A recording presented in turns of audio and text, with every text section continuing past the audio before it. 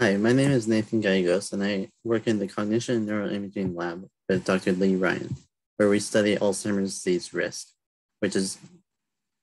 which is defined as having either a family history of Alzheimer's disease, um, which is having a parent or a sibling diagnosed with Alzheimer's,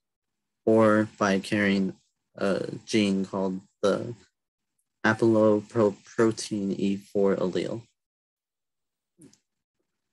In this project, we use voxel-based based morphometry to compare uh, gray matter volumes between those who have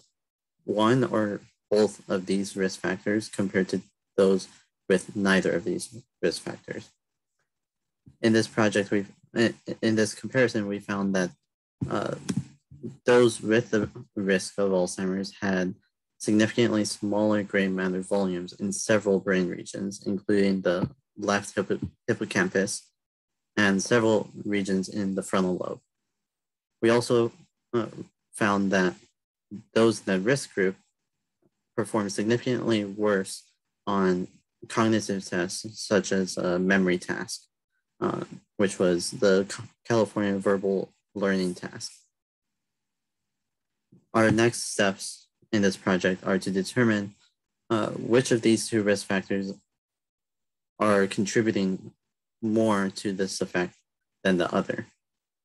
and to correlate these uh, cognitive scores to their volumetric, uh, to their volume, brain volumes.